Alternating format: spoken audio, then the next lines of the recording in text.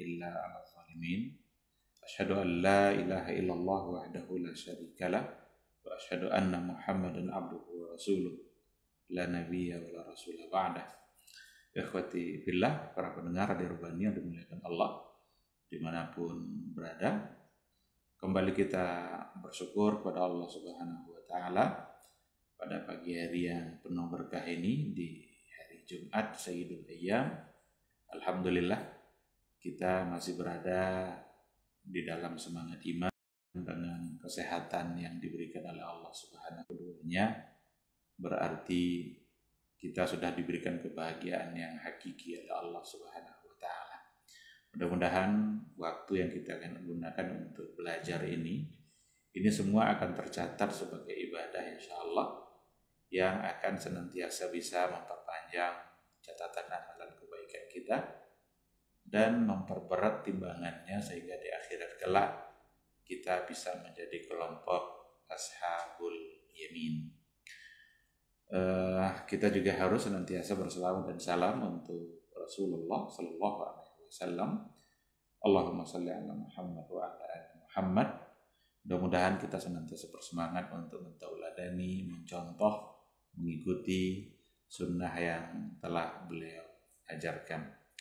Rasulullah Sallallahu Alaihi Wasallam telah mengorbankan segala-galanya untuk membuktikan cintanya kepada umatnya segala-galanya dikorbankan untuk menyebarkan syariat, untuk menyebarkan Islam yang kesemuanya adalah untuk kemaslahatan umat manusia tidak hanya di dunia saja tapi justru keselamatan ketika nanti di akhirat.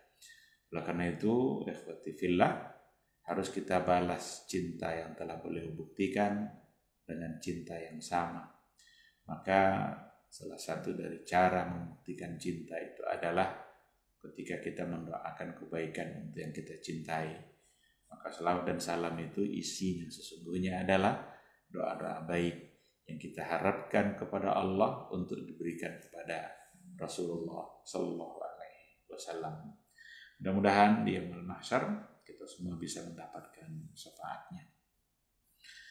Amin ya rabbal alamin. Ikhwati fillah kembali pada pagi hari ini kita akan melanjutkan kajian kaidah-kaidah kita, kaidah-kaidah fikih yang berhubungan langsung dalam kehidupan keseharian kita.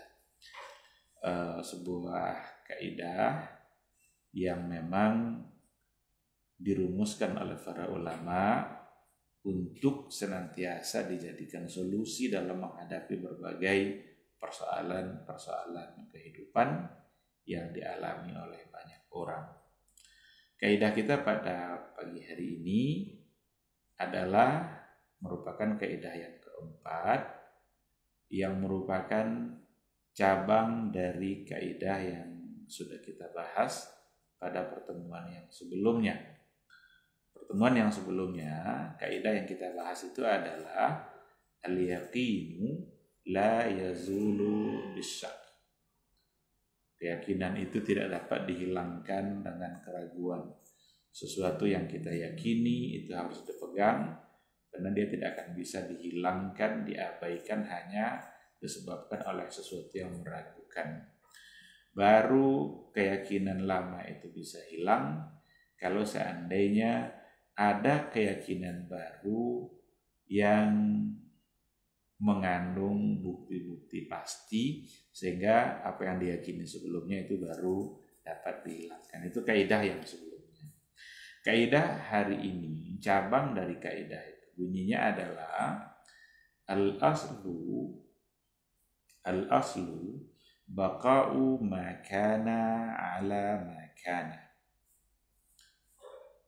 saya ulangi bacanya. Al aslu baqa'u makana ala makana. Artinya adalah hukum asal sesuatu itu ditetapkan sesuai dengan keadaan semula.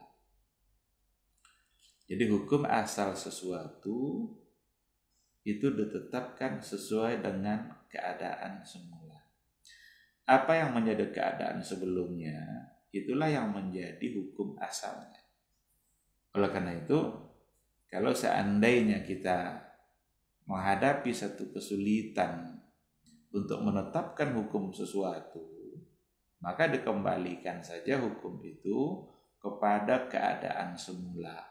Sehingga yang menjadi patokan adalah hukum asal itu sampai ada dalil dan bukti yang dapat menetapkan hukum yang berbeda untuk sesuatu itu. Nah, ini mungkin nanti melalui contoh kita baru bisa uh, uh, memahaminya dengan lebih jelas. Tapi setidaknya memang harus kita ulang-ulang ini ungkapan ini untuk memahamkan kita dengan substansi dari kaidah. Uh, ini bisa terjadi pada muamalah dan juga bisa terjadi pada satu bentuk ibadah. Dikarenakan oleh kaidah ini merupakan cabang dari kaidah yang sebelumnya, maka nanti di antara contohnya ya bisa juga ada contoh yang sama. Uh, bagaimana kita menghukumkan sesuatu yang kita hadapi itu dengan keadaan semula. Kalau pada contoh yang dulu yang yang kita angkat itu di antaranya ketika kita ragu, ketika kita meragukan keadaan kita yang dalam keadaan sucikah atau tidak, maka contoh itu bisa kita ulang kembali untuk memahamkan kita dengan kaidah ini. Kalau tadi dikatakan bahwa hukum asal sesuatu itu tetap berpegang kepada keadaan semula. Nah, kalau seandainya ada orang yang masih meragukan ketidaksuciannya dan dia meyakini kesuciannya atau dia dalam keadaan ragu antara suci dengan tidak, dia harus ingat keadaan semulanya seperti apa, keadaan sebelumnya seperti apa. Kalau seandainya umpamanya dia baru bangun tidur. Setelah bangun tidur itu dia ngobrol-ngobrol lama lalu ingin sholat. Apakah tadi sebelum uh, setelah bangun itu dia beruduk bersuci atau tidak? Karena keadaan semulanya adalah bangun tidur, maka berarti dia dihukumkan dalam keadaan tidak suci karena tidur itu adalah sesuatu yang bisa membatalkan membatalkan kesucian, membatalkan uh, taharahnya. Karena itu keadaan semula. Tapi kalau seandainya ada seseorang yang tadi dia sudah menyelesaikan sholat duhanya. Sholat duha tentu saja harus dikerjakan dalam keadaan suci.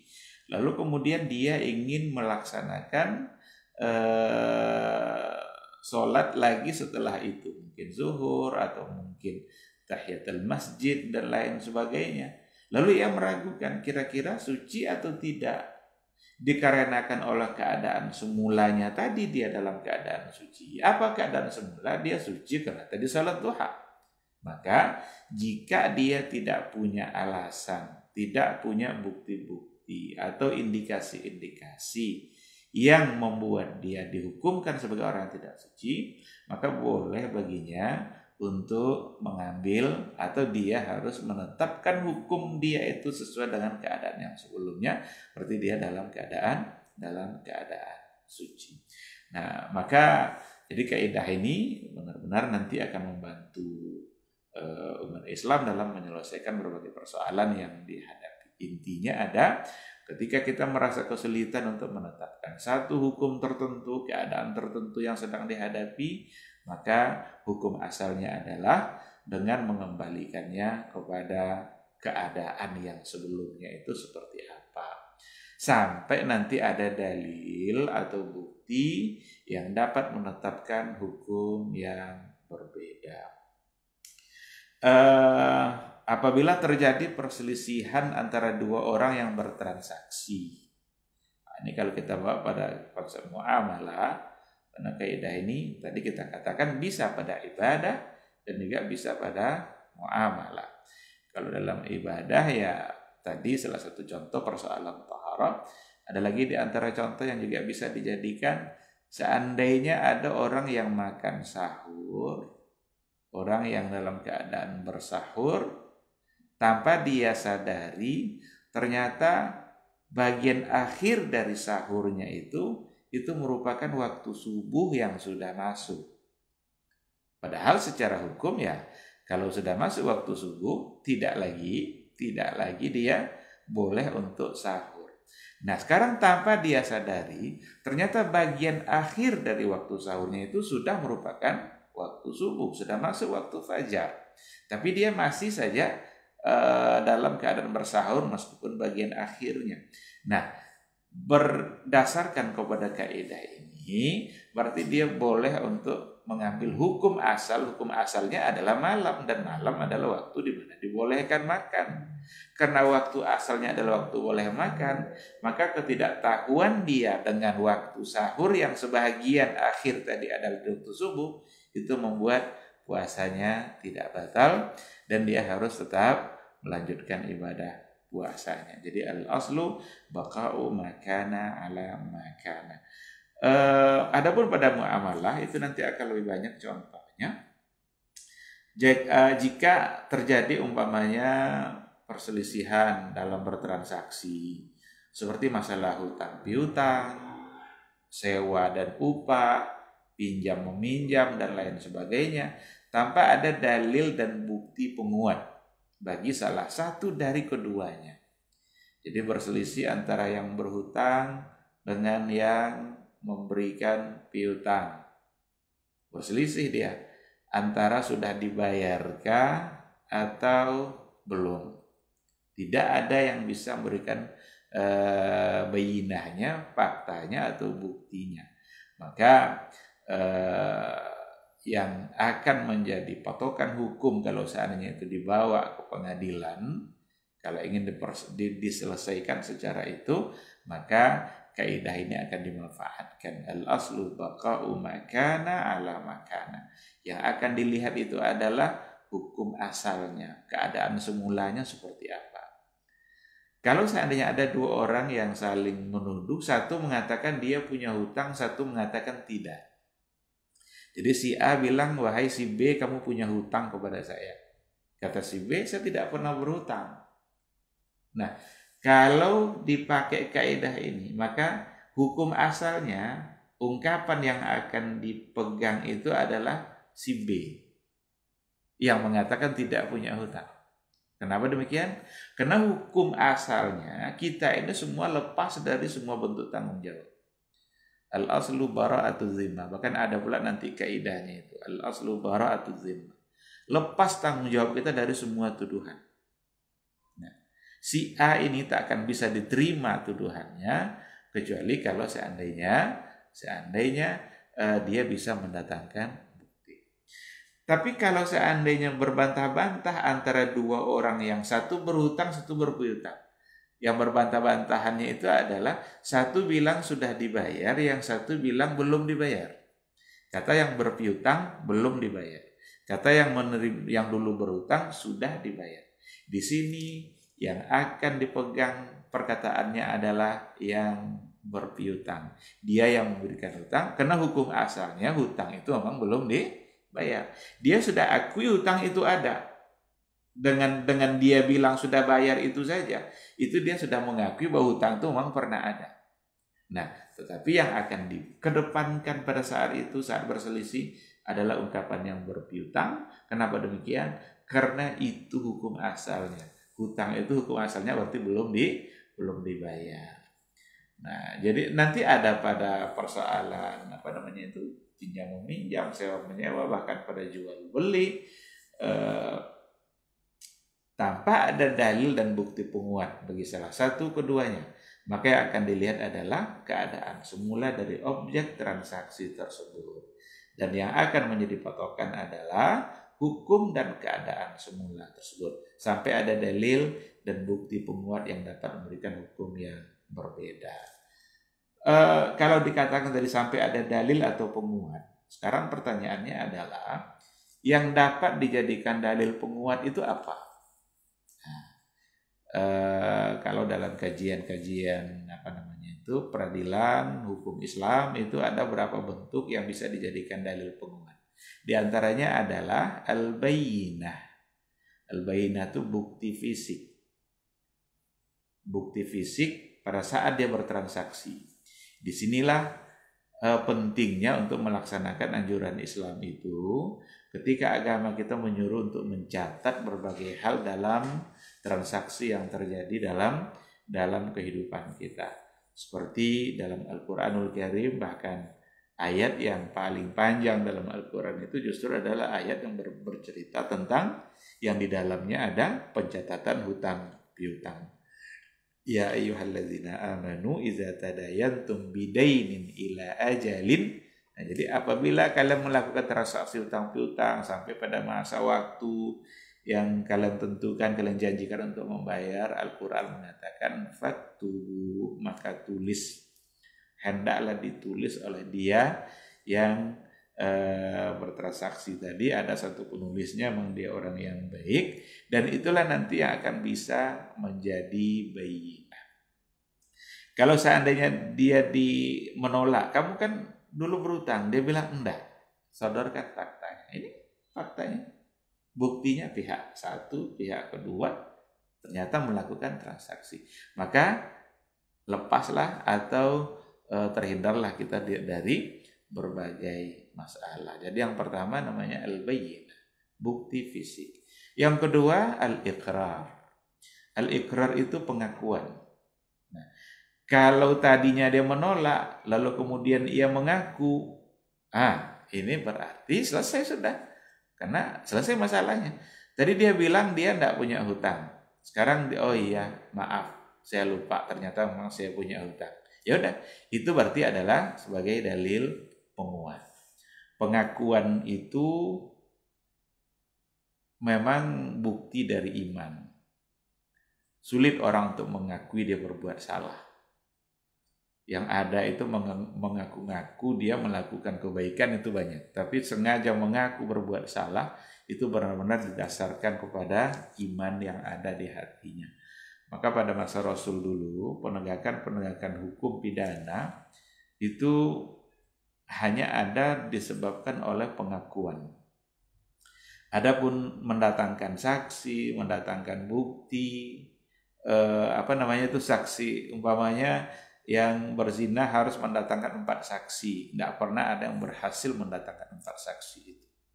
Yang ada ketika hukum itu dilaksanakan itu dikarenakan oleh adanya pengakuan. Dia mengaku kalau dia bersalah dan dia minta ditegakkan hukum itu. Nah, ikrar ini menjadi salah satu dari dalil penguat yang akan bisa menyelesaikan masalah ketika dua orang bertransaksi.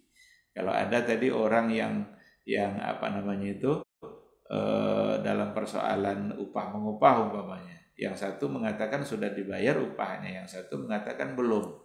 Tapi ternyata akhirnya dia mengakui bahwa ternyata memang uh, upah itu belum di belum dibayarkan. Berarti selesai masalah.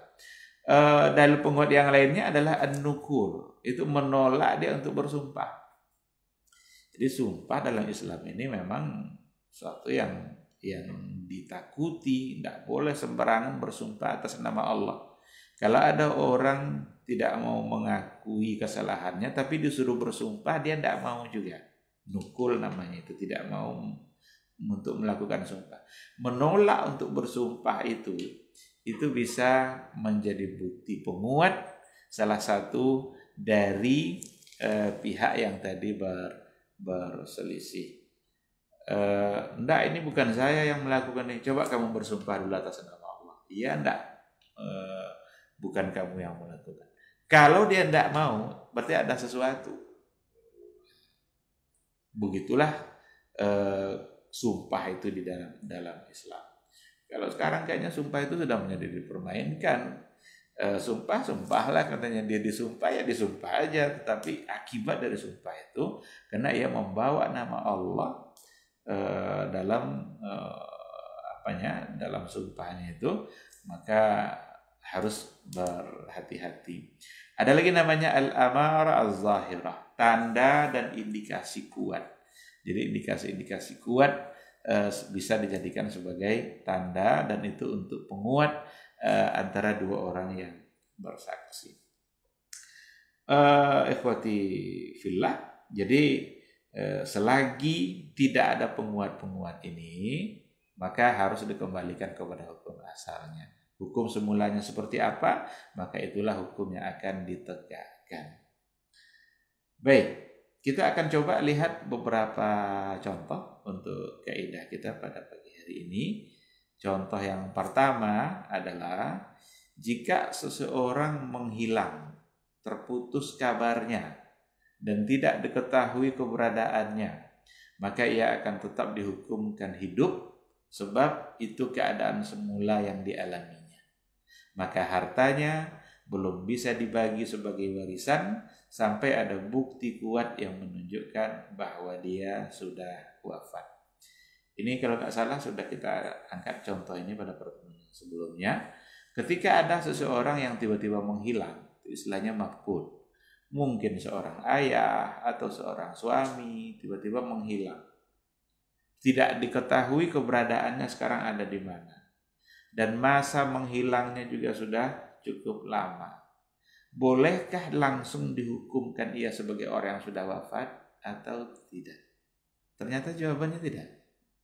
Tidak boleh langsung diberikan hukum wafat untuk orang yang hukum asalnya adalah hidup pertemuan terakhir antara dia dan keluarganya, dia masih hidup. Hanya saja menghilang dan tidak diketahui lagi di mana keberadaannya. Nah, al-aslu baqa'u makana ala makana. Hukum asal sesuatu itu adalah tetap pada keadaan semula. Sampai nanti ada fakta, ada bukti, atau ada indikasi. Nah, kalau di sini indikasi itu barangkali dulu terakhir dia pamit mau pergi ke satu wilayah. Dan ternyata di wilayah itu beberapa hari setelah itu terjadi satu musibah. Dan dilaporkanlah dalam musibah itu ada banyak korban. Ada kemungkinan umpamanya, nah, itu namanya indikasi. Tinggal dicari tahu sekuat apa indikasi itu bisa membantu persoalan. Kalau ternyata memang dia salah satu dari korbannya, ada indikasi seperti itu. Dia dulu bertamu ke rumah si Fulan, rumah itu sekarang sudah hancur, orang di rumah itu semua sudah wafat umpamanya. Berarti ada indikasi kuat bahwa ternyata mungkin dia adalah bagian dari yang yang korban. Sehingga tidak pulangnya dalam waktu sekian tahun itu nanti baru eh, apa namanya dengan adanya indikasi tadi bisa dikatakan bahwa dia Eh, sudah sudah wafat. Karena konsekuensinya ada pada harta dan keluarga. Ada pada harta maksudnya istrinya akan dihukumkan sebagai janda yang boleh dinikahi oleh orang lain kalau nanti idahnya sudah selesai. Harta yang ditinggalkan akan menjadi harta warisan yang boleh dibagi-bagi dan lain eh, lain sebagainya. Itu contoh yang pertama. Contoh yang kedua, apabila seorang istri mengaku tidak diberi nafkah oleh suaminya. Jadi seorang istri mengaku tidak diberi nafkah oleh suaminya. Sementara suaminya membantah tuduhan itu. Dibantahnya tuduhan tersebut. Kata suaminya, sudah semua, lengkap saya berikan nafkahnya. Uh, maka yang akan dipegang adalah ucapan suami Sebab hukum asalnya memberi nafkah itu merupakan satu kewajiban suami yang harus ia tunaikan. Kecuali apabila istri mau bersumpah atas nama Allah. Nah, di sini dia. Berarti sumpah di sini ini posisinya kuat ini. Ketika suami mengatakan demi Allah dia tak pernah memberikan nafkah. Sementara suami tetap juga bersekuku untuk mengatakan bahwa dia sudah memberikan nafkah. Sumpah yang diucapkan oleh seorang istri itu berada di atas ungkapan suami, maka kalau berani dia bersumpah, hakim nanti akan memenangkan istri. Tapi kalau dia tidak berani bersumpah, maka yang akan dipegang adalah ucapan suami, sebab hukum asalnya persoalan nafkah itu memang datang dari seorang laki-laki sebagai suami. Yang yang pada kebiasaannya memang suami menunaikan apa yang menjadi kewajiban dia untuk diberikan nafkah itu bagi keluarga, anak dan istrinya.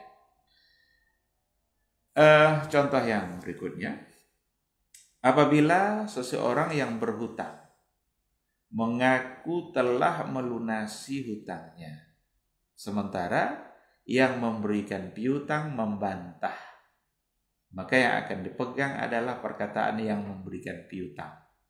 kecuali yang berhutang tersebut dapat menunjukkan bukti. Ya, ini sudah kita singgung tadi dalam persoalan piutang. Si A orang yang kaya, dia memberikan piutang kepada si B pada saat dia membutuhkan. Terjadilah perselisihan antara yang berpiutang dengan yang berhutang.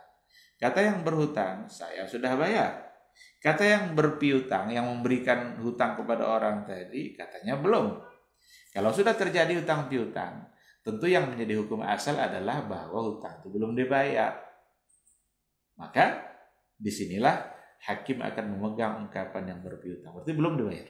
Kecuali jika yang berhutang itu bisa melihatkan bukti. Ya, tadi sudah kita katakan, di sinilah pentingnya ada bukti dalam dalam bertransaksi. Jangan abaikan eh, apa yang dianjurkan itu ketika agama menyuruh untuk catat mencatat apalagi kalau memang dalam jumlah yang besar kalau jumlah yang kecil yang barangkali kalau seandainya terjadi eh, perselisihan mungkin tidak begitu berat akibatnya tidak mungkin hutang 20 ribu 50 ribu mungkin dicatat materinya aja udah 6 ribu kan eh, mungkin orang tidak akan mencatat atau tidak mencatat itu karena ya sudah biasa lah dalam kehidupan sehari-hari. Karena memang tidak pula wajib hukum mencatat itu. Amar yang ada pada perintah mencatat itu, itu menurut ulama usul fikih, itu tidak sampai mimba bilujub. Jadi kalau ada kaidah al aslu fil amri lil amar yang ada pada faktubu ayat hutang piutang itu, itu memang tidak sampai ke tingkat ke tingkat wajib, tapi hanya nadab Nadab itu e, sesuatu yang memang dianjurkan. Dianjurkan itu ya sebisa mungkin kita laksanakan. Tapi kalau tidak, maka tidak berdosa. Baik, contoh yang berikutnya. Ketika mantan suami tidak lagi memberikan nafkah iddah dengan alasan iddah sudah selesai. Sementara istri mengatakan bahwa iddah belum selesai. Nah, ini kan banyak masalah-masalah dalam dalam rumah tangga kan. Suami menghentikan nafkah iddah. Ini perlu dipahami baik-baik seorang suami yang menceraikan istrinya jangan dianggap lepas dari tanggung jawabnya langsung saat menceraikan itu. Dalam masa iddah yang di uh, yang dilalui oleh seorang istri, suami masih berkewajiban untuk memberikan nafkah-nafkahnya. Itu yang disebut dengan nafkah iddah itu atau mut'ah mut'ah dalam eh, saat dia eh, mengalami masa iddah. Jadi dia hentikan dengan alasan iddahnya sudah selesai. Istri mengatakan bahwa iddah belum selesai, maka istri dapat dimenangkan. Ungkapan istri yang akan dipegang. Itu asalnya. Jika ia mau bersumpah. Atau punya bukti kuat bahwa ia memang masih menjalani masa masa iddah. Kita kalau bicara hari-hari indah tentu perempuan yang lebih perempuan yang lebih uh, mengetahuinya. Dalam hal ini, jika dia siap untuk bersumpah atau uh, dia bisa mendatangkan bukti yang kuat bahwa ia memang masih menjalani masa indah, maka dia akan dapat dikedepankan ungkapannya. Baik, apabila seseorang menyewa tempat tinggal dan ia mengaku bahwa ia sudah membayarnya. Orang tinggal di satu rumah, tiba-tiba dia, dia bilang mengaku dia, saya sudah membayarnya. Sementara pemilik rumah menolak pengakuannya. Kata pemilik rumah, belum, kamu belum bayar. Maka yang akan dipegang adalah ungkapan pemilik rumah. Sampai penyewa dapat memberikan Kenapa ungkapan pemilik rumah yang dikedepankan? Dia yang memiliki rumah, yang menyewakan kepada orang lain, tentu saja hukum asalnya adalah belum ada sewa yang dia terima. Nah, ketika si penyewa itu sudah memberikan pengakuannya bahwa dia sudah membayar, mana buktinya? Bukti sudah dibayar.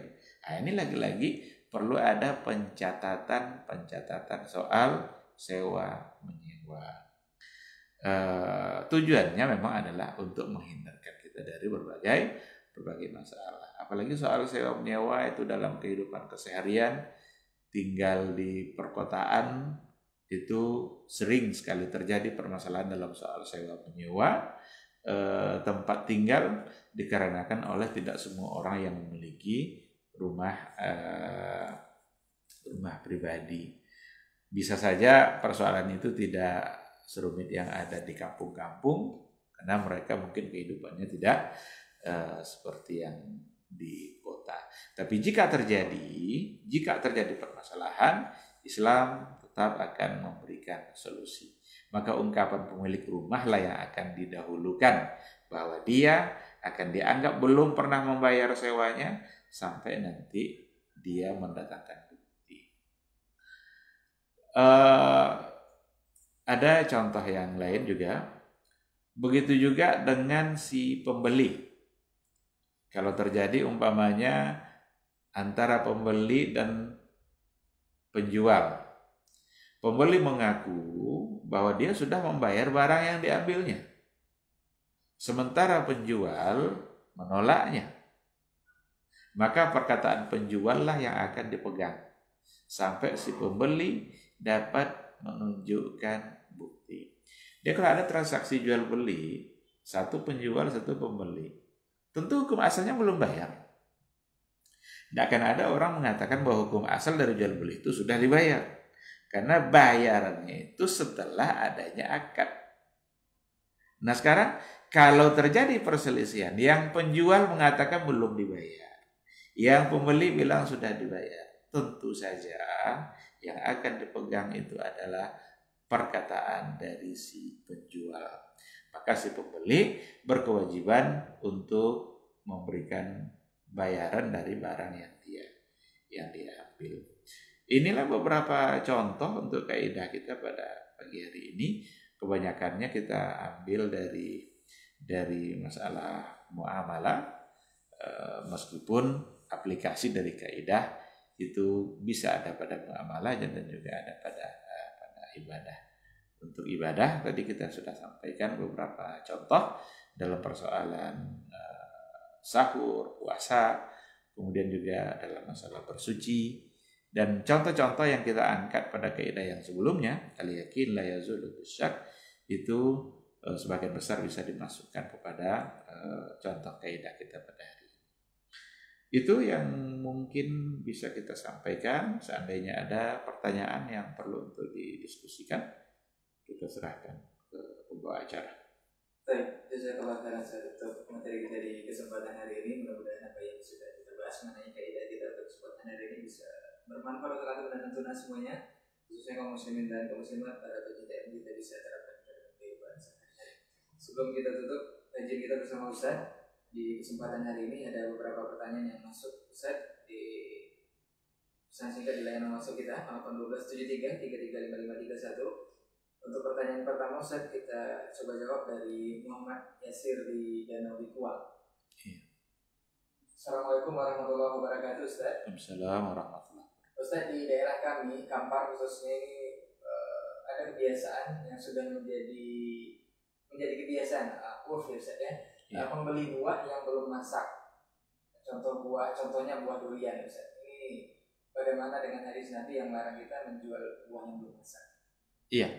Dalam Bismillahirrahmanirrahim dalam hadis Nabi itu sangat jelas sekali eh, larangan itu, di mana Rasulullah Shallallahu Alaihi Wasallam naha an bai'is simari qabla wudu salahiha Rasul itu melarang untuk melakukan transaksi jual beli buah-buahan qabla wuduwi salahiha. Sampai nanti nyata atau terang buahnya akan benar-benar menjadi buah. Seperti agak mulai menguning berarti dia sudah sudah diyakini akan menjadi menjadi buah atau setidaknya sudah ada manfaatnya. Ketika Nabi mengatakan qabla wuduwi salahiha ini benar-benar kita harus terima ini. Ada durian, baru putiknya atau bunganya, lebat sekali bunga dan putiknya itu. Kata Nabi, siapa yang menjamin bunga-bunga itu akan benar-benar jadi buah? Nah oleh karena itu, kalau dijadikan transaksi jual beli durian pada saat kondisinya seperti itu, bisa durian, bisa mangga, bisa macam-macam kan.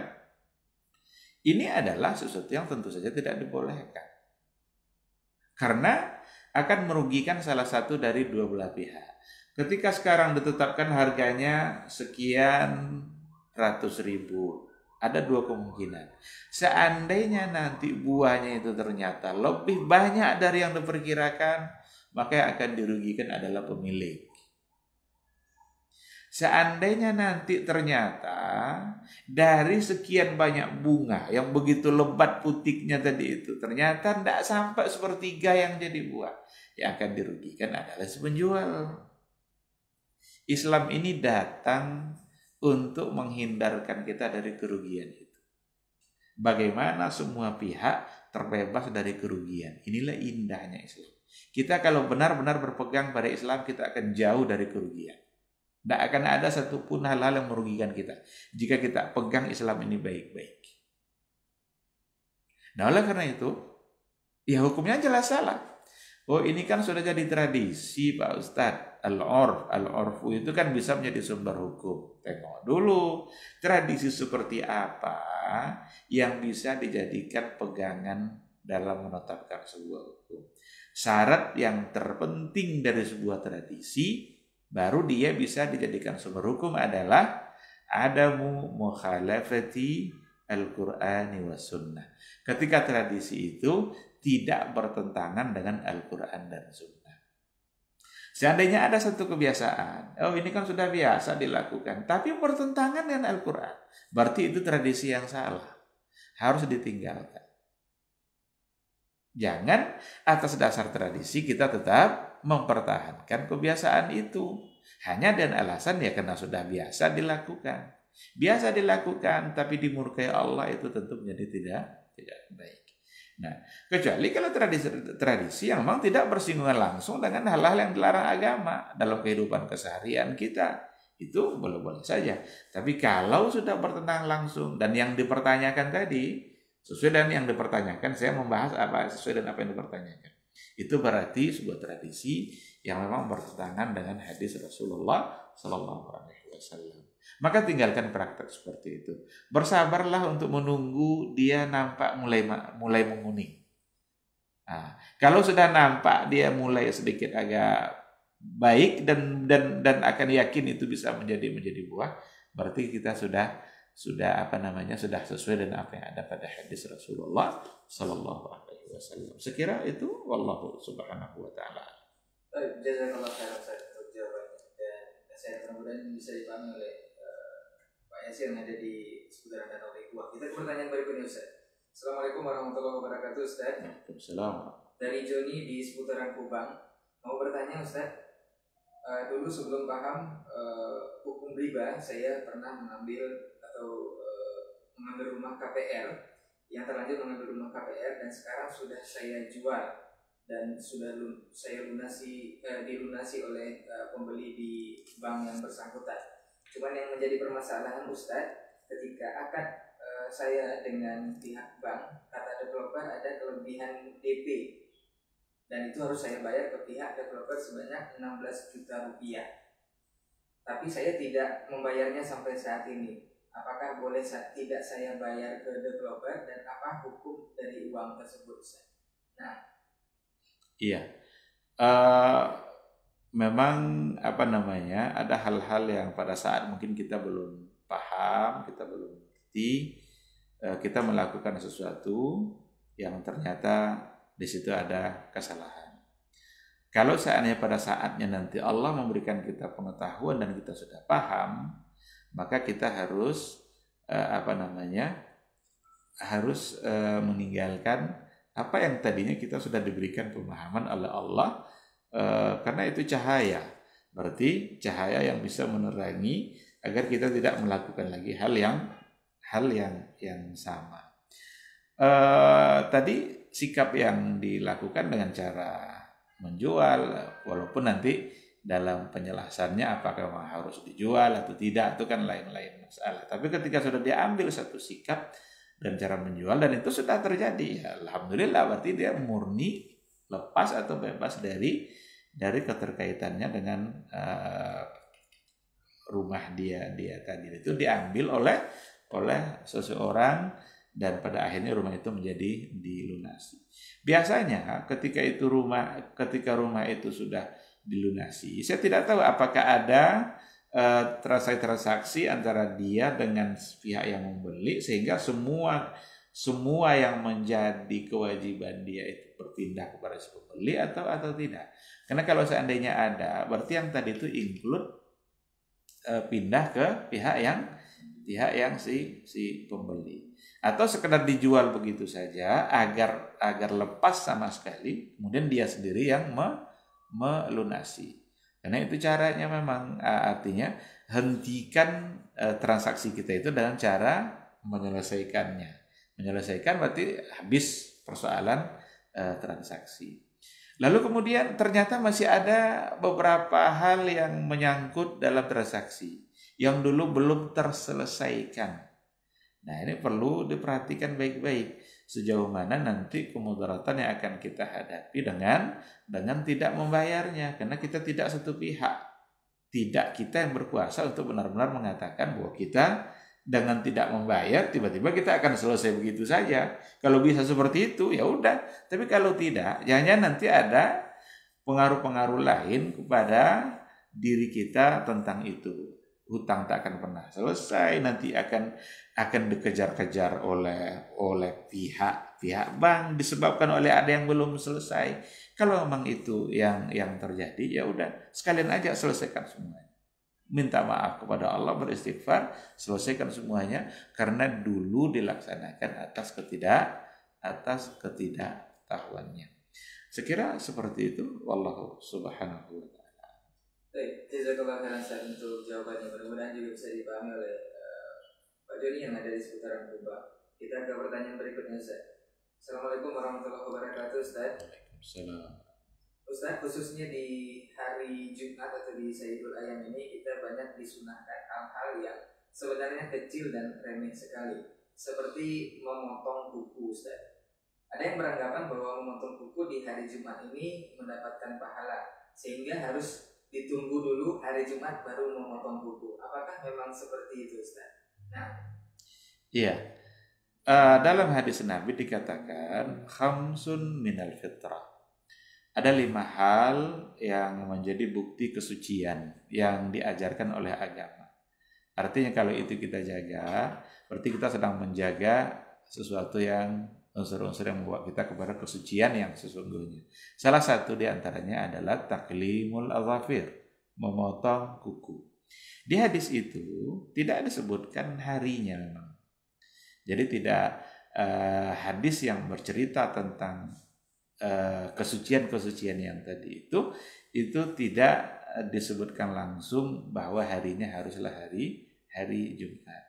Barangkali kalau ada yang memilih hari Jumat dikarenakan oleh hari Jumat adalah hari yang yang paling mulia dalam seminggu, hari raya, hari raya dalam seminggu itu ada pada hari Jumat yang yang mudah-mudahan pahalanya mungkin bisa saja uh, berlebih. Ya, kalau atas dasar itu silahkan saja. Tetapi ketika hari Sabtu ternyata lupa dia hari Jumat, potong kuku. Hari Sabtu kukunya sudah sangat panjang dan dia tidak betah rasanya dengan kuku panjang mulai dari Sabtu. Kalau nunggu itu kan berapa hari lagi? Tidak mesti menunggu hari hari Jumat. Maka melaksanakan kesucian tadi itu itu boleh dan dianjurkan kapan saja. Tapi jika memang memilih waktu-waktu tertentu ya silakan saja. Dengan catatan ya tidak meyakini bahwa haruslah hari itu kita melaksanakan itu. Karena mengharuskan sesuatu itu benar-benar didasarkan kepada apa yang diharuskan oleh Rasulullah Shallallahu Alaihi Wasallam. Ketika datang bersifat umum, maka kita laksanakan juga umum itu. Cuma kalau ingin memilih, kalau ingin memilih umpamanya eh, waktunya ya itu insya Allah masih dalam batasan yang yang dibolehkan Allah. Baik, jazakallah khairan Ustaz. Kita ke pertanyaan selanjutnya Ustaz. Assalamualaikum warahmatullahi wabarakatuh Ustaz.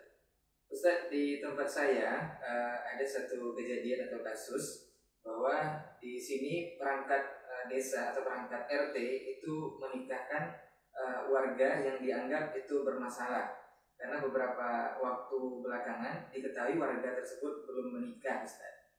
Jadi setelah dilakukan uh, sidak uh, warga mengaku uh, surat nikahnya itu terbakar jadi dengan kebijaksanaan pihak RT uh, menikahkan mereka di tempat itu. Apakah ini dibenarkan sesuai syariat atau memang ada peraturan terbaru dari pemerintah Ustaz? Nah. Iya, kalau peraturan baru dari pemerintah saya tidak begitu tahu. Tapi kalau kita bawa kepada uh, kaidah kita uh, hari ini, pada kaidah kita hari ini al aslu bakau makana ala makana. Ketika ada kelihatan dua orang berumah tangga. Lalu ada yang mencurigakan, ditanya oleh Pak RT, kalian sudah nikah? Kami sudah nikah. Mana buku nikahnya? Terbakar. Pak RT tidak bisa mengatakan kamu bohong. Apa bukti dia bohong? Maka hukum asalnya sebenarnya orang itu yang harus di, di, di, dikedepankan kata-kata. Ya, karena dia ya, kalau dia bohong itu dosa dia. Ya kan? Tidak mungkin seseorang menolak Pak RT umpamanya atau Pak RW. Nggak, saya tidak yakin kalian ini belum suami istri. Pokoknya kalian tidak suami istri. Kalau dia mati-matian bilang iya. Kecuali kalau Pak RT punya bukti juga bahwa ternyata dia memang tidak suami, tidak suami, suami istri. Oleh karena itu, mungkin perlu ditelusuri. Kalau memang dia menjadi suami istri, surat hanya karena surat nikah yang terbakar, kira-kira nikahnya di mana? Asal kalian dari mana. Tengok catatan KUA sana ada atau tidak. Kalau tidak ada, berarti dia telah berbohong. Kebohongannya akan dia tanggung sendiri akibatnya. Sudah, sudahlah dia berzina, berbohong lagi, merusak masyarakat lagi. Nah, keharusan untuk dinikahkan, nah itu itu persoalan yang ini mungkin persoalan yang yang yang uh, lain gitu. Tentu saja kalau memang dia ingin menjadi baik, dan diminta untuk dinikahkan itu tidak cukup hanya oleh PRT saja. Perempuannya punya wali, yang akan menikahkannya adalah walinya. Karena PRT tidak, tidak boleh tiba-tiba jadi wali. Ketika tidak ada ayah, udah saya aja jadi walinya. Tidak bisa. Mentang-mentang PRT mau jadi wali, tidak, tidak, tidak bisa. Seorang perempuan kalau menikah berarti ada walinya. Yang laki-laki barulah dia tidak pakai wali. Karena laki-laki itu yang langsung ijab kabulnya. Tapi perempuan itu ijab kabulnya diwakili oleh oleh walinya. Nah, dalam kondisi seperti itu, ini banyak keterkaitannya nanti kan. E, kalau sudah ditemukan, ya mungkin akan diproses. Kalau untuk menikah ya tentu dicari siapa siapa ayah perempuan ini, siapa yang menjadi wali, kemudian di mana mau dinikahkan, itu harus tuntas e, e, dalam dalam persoalan yang tadi itu. Allah subhanahu Baik, jazakallah khairan untuk jawabannya. Mudah-mudahan ini bisa menjadi uh, pengarah juga bagi pihak pihak-pihak terkait untuk hal-hal yang terjadi di lingkungan. Kita ke pertanyaan berikutnya Ustaz mengenai uh, safar Ustaz. Assalamualaikum warahmatullahi wabarakatuh Ustaz. Waalaikumsalam. Ustaz, saya pernah mendengar pengajian seorang dai bahwa beliau mengatakan dari hadis Nabi uh, safar itu bagian dari adab Ustaz. Tapi kenapa e, banyak orang yang ketika safar atau diumumkan akan pergi jalan-jalan itu malah gembira Ustaz? Apakah ini tidak bertentangan? Nah Ustaz. Iya. E, dalam sebuah riwayat dikatakan as-safaru qita'atun minal azab. Safar itu sebahagian dari azab. Kita tahulah safar pada masa dahulu Eh, dengan menggunakan fasilitas yang seadanya dengan jalan yang juga tidak seperti hari ini bukit yang akan didaki lembah yang akan ditelusuri tentu itu adalah bagian dari kesulitan azab itu maksudnya adalah kesulitan. Sehingga dari sisi inilah safar itu mendatangkan hukum dalam persoalan ibadah. Dikarenakan di situ ada kesulitannya maka dibolehkan jamak kosar dibolehkan orang yang berpuasa lalu dia musafir dan merasa tidak sanggup untuk melanjutkan puasa karena dia dalam keadaan musafir itu maka boleh baginya untuk tidak tidak berpuasa. Jadi hubungan hadis itu bukan dengan rekreasi hari ini.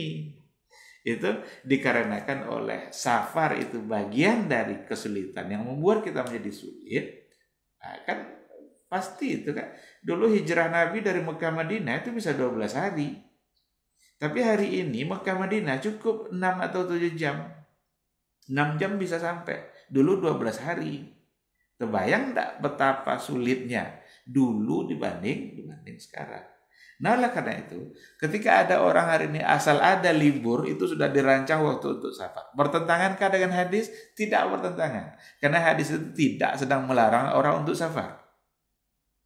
Tapi hadis itu sedang menggambarkan bahwa musafir itu biasanya mendatangkan kesulitan. Apa hal-hal yang tidak dihadapi saat mukim, mungkin dihadapi saat safar. Saat mukim, orang bebas menemukan air. Saat safar mungkin nanti air habis, bekal habis. Boleh tidak dia bertayamum nanti kalau seandainya air habis? Boleh. Nah, oleh karena itu bukanlah sesuatu yang bertentangan ketika ada orang yang suka untuk bersafar, hanya saja usahakan rihlanya itu rihlah yang mengandung nilai ibadah. Bukan rihlahnya itu, safarnya itu yang mengandung nilai maksiat. Kalau safarnya mengandung nilai maksiat, berarti dia akan mendapat dosa dari unsur-unsur kemaksiatannya. Tapi kalau safarnya mengandung unsur ibadah, maka insya Allah dia akan mendapatkan pula pahala dari unsur-unsur ibadahnya. Sekira seperti itu. Allah subhanahu wa ta'ala. Baik, jazakallah khairan untuk jawaban dan juga uh, nasihat atau penerangan. Kita ke pertanyaan terakhir seperti Ustaz. Ya. Assalamualaikum warahmatullahi wabarakatuh, Ustaz. Waalaikumsalam. Ustaz, pertanyaan mengenai jual beli, Ustaz. Kalau sekarang banyak istilah-istilah keren yang ada dalam jual beli, apalagi banyaknya maraknya dunia digital atau belanja online. Ada yang namanya PO Ustaz, atau pre-order. Ini bagaimana hukumnya? Kalau rentan waktu lama menunggu dari barang yang sudah diorder, sementara kita sudah bayar full untuk harga barang tersebut. Nah, Ustaz. Uh, jual beli online itu uh, bisa dikategorikan kepada jual beli salam. Jual beli salam. Salam itu jual beli salam itu membeli barang terjadi transaksi jual beli tapi barang tidak ada di tempat. Dia sudah ada tapi tidak di tempat dia minta didatangkan. Online kan rata-rata seperti itu dan sekarang sudah banyak sekali eh, aplikasi-aplikasi yang berkaitan dengan itu ya bisa saja tidak semua semua hukumnya sama hukumnya boleh mungkin ada yang dibolehkan ada yang tidak dibolehkan tergantung apa yang substansi yang dilakukan dulu pada kaidah kedua kita sudah bahas bahwa sesungguhnya yang menjadi patokan dalam hukum transaksi itu bukan hanya pada namanya saja ini asal jual beli jadi boleh dia enggak tapi tengok substansi yang terjadi dalam akadnya seperti apa. Nah, termasuk yang pre-order tadi, itu seperti apa yang dilakukan. Sekarang kita sudah membeli barang. Barang sudah kita pesan, sudah kita bayar. Cuma barang nyampe-nya agak agak lama. Transaksi seperti itu berarti kita langsung membeli barang kepada pihak pihak penjual hanya karena menunggu menunggu waktu. Itu konsekuensi dari online memang. Nah, untuk hal-hal yang seperti itu mungkin tidak belum dapat dipersalahkan kecuali kalau orang di sana itu yang menunda-nunda pengirimannya. Kalau sekedar proses sampainya saja mungkin bisa seminggu, mungkin mungkin lebih, mungkin kurang. Itu ya proses yang harus di, dilewati.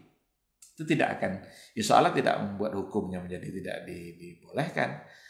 Karena ada juga kita sudah membeli sesuatu, tetapi manfaat yang kita beli itu baru nanti ketika di waktunya. Maka ada satu istilah itu uh, apa itu? Jual beli transaksi al-mausufa fi zimmah. Saya lupa istilah-istilah lengkapnya.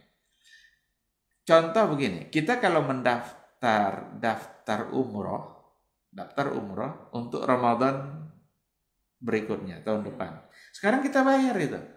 Cateringnya sekian juta, hotelnya sekian juta, lunas semua. Tapi sudah dimanfaatkan belum hotel itu? Catering yang tadi kita bayar sekian juta ini sudah dimanfaatkan belum? Padahal kita sudah akan.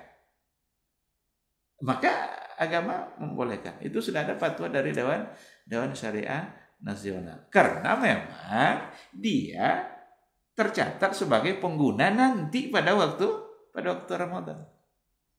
Nah, sekarang dia beli barang yang tadi mungkin tidak persis itu, tapi eh, sama apanya analoginya. Tapi setidaknya membuat kita bisa mengatakan ketika kita sudah bertransaksi barang untuk dikirim dan memang harus bayar dulu. Kalau salah memang harus bayar dulu. Itu beda nanti sama istisna. Kalau istisna boleh pakai DP atau pelunasannya di akhir. Kalau salam rata-rata pelunasannya di di awal. Sudah bisa dipastikan bahwa barang itu tidak akan ada pada saat kita Nah, oleh karena itu, keterlambatan datangnya barang itu insya Allah tidak akan berubah hukum. Yang jangan dilakukan itu adalah sengaja pihak penjual untuk memperlambat pengiriman barang. Dia salah dalam sikapnya seperti itu, tetapi transaksi yang tadi berlangsung itu insya Allah masih eh, tidak menyimpang. Allah subhanahu wa ta'ala. Baik, jazakallah khairan Ustaz untuk jawaban dan juga materi kita di kesempatan hari ini. Insya Allah di hari Senin kita akan bersama kembali bersama Ustaz dengan lanjutan kajian. Apa untuk semua salah kata yang kita bicara tetap setia di 91,1 FM Radio Rombani Merajut Ilmu dan Peradaban. Kita tutup dengan doa kafaratul majlis untuk kesempatan hari ini. Subhanakallahumma wa bihamdika asyhadu an la ilaha illa anta astaghfiruka wa atubu ilaik. Assalamualaikum warahmatullahi wabarakatuh. Assalamualaikum warahmatullahi wabarakatuh.